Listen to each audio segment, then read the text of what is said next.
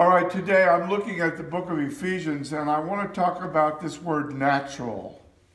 It's used a lot today, natural selection, for instance, in Darwinian evolution. But in this book, it doesn't talk about anything like that. It talks about a creator, a Bashefer, and it talks about the natural condition of people who are under God's anger and the natural condition of people who are spiritually dead and the natural condition of people who need the mighty creator who created them in the first place to create a new self so that the old self, dead in trespasses and sins, can be replaced. And this is done by the mighty Ruach HaKodesh, the same one that turned Paul from what he was before, a persecutor, to what he is now, an apostle, the same one that raised Yeshua from the dead, this mighty Holy Spirit wants to do a creationary work in you to deliver you from your natural condition, which is subject to the deceit of the devil.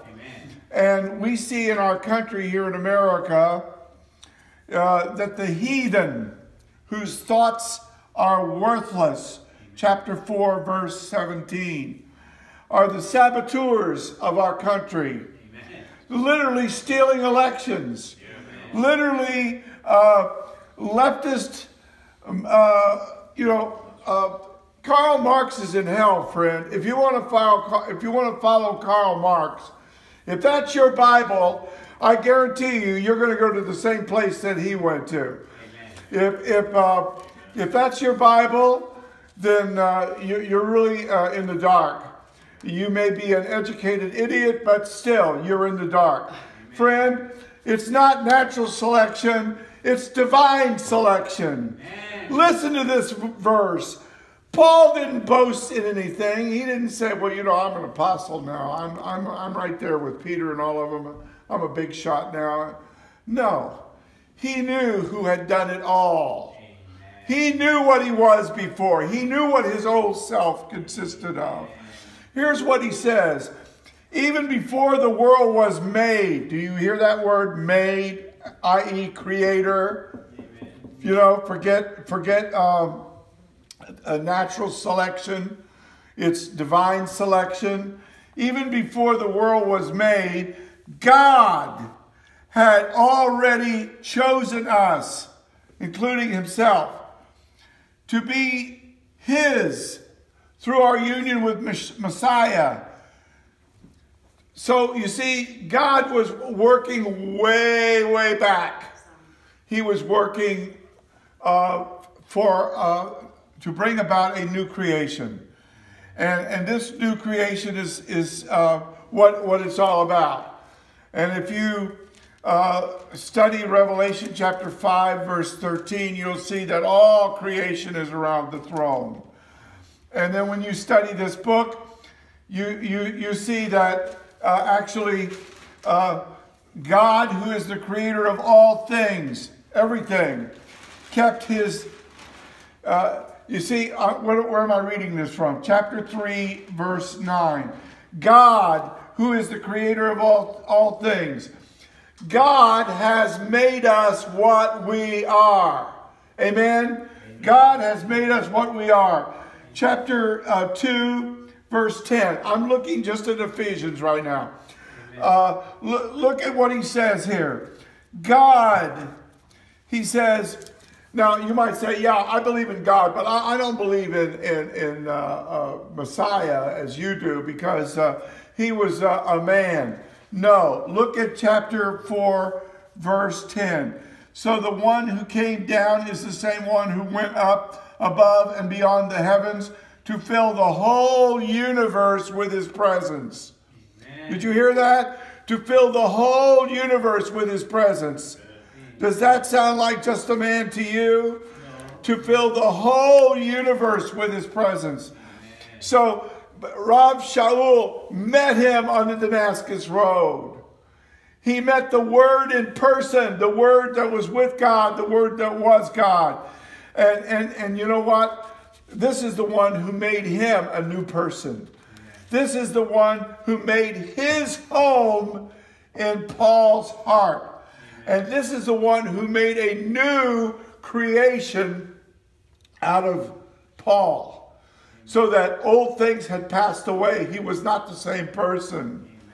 Now, friend, do not succumb to the devil's tricks because if you go along with the world, which is under God's wrath, uh, then you're going to find yourself in trouble because God's anger burns against this fallen world. This, if you want to use the word natural, the natural condition is under wrath. And God wants to take us out of that natural condition into a supernatural condition. Amen. He wants us to be born again. And, and, and you must flee from the old self and the old life and the worldliness. And, and, and you must find the truth. Here, look, it says, speaking the truth in a spirit of love. Chapter 4, verse 15. Do not get your truth from the reprobate who doesn't know God. Uh, it says, it says that we must turn to the Lord.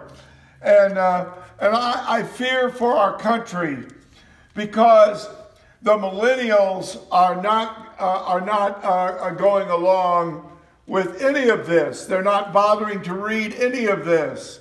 They're getting uh, their um, uh, creationism, quote unquote, from the devil. Uh, and, uh, and they're not, they're not at all interested in looking at, the, at these facts for the most part. But Rav Shaul himself is exhibit A Amen. to prove that he's telling the truth here. Because the power of the Holy Spirit was on this man. Amen. How could one little Jew go around the world and turn the whole world upside down and write most of the Brit Hadashah and, and do all of this when he was a persecutor? He, he was a persecutor. And then God gave him this book of Ephesians, which, when you read it, if you have ears to hear and eyes to see, is very clearly a divine document, divinely inspired. Amen. Divinely inspired. And we're talking about the Bashefer, friend. The Bashefer. Don't let Charles Darwin take the Creator away from you. Natural selection would not create an eyeball. If you know anything about an eyeball, you know that dumb nature couldn't do it. Nature is dumb. God is, is infinitely wise.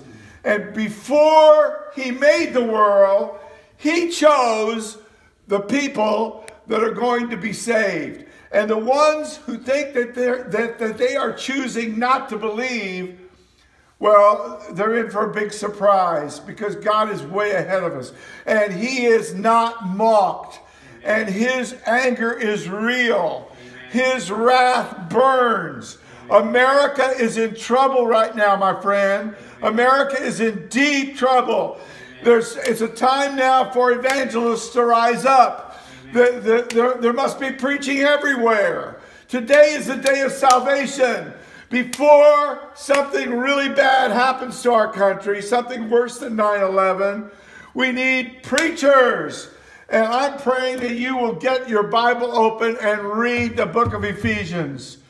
Lord, I want to pray right now for, for, this, for this book that people will read it, that they will see the Creator there, the one who made everything, the intelligent designer that this was not thrown together by dumb luck through random atoms and nature, but this was God. And God created a new person named Paul, who was completely new from the old person. And then God empowered him to do great things, healings, and preaching and spreading the good news and writing these, these letters. And no one could have done this uh, without God's help. And God is, is, is showing us through this man that he loves everyone and that he wants everyone to come to salvation. He's not willing that any should perish, but also he is not mocked by the uh, reprobate. And, and, and Karl Marx will find out in Gehinnom that he wasn't so smart after all. And Lord, I want to pray that this country will not be, be taken over either uh, quickly or in time by Marxism. And I want to ask you, Lord, to have mercy on America and bring us back to the truth. And may the truth open our eyes. And may the truth make us a new creature. And everybody said, Amen.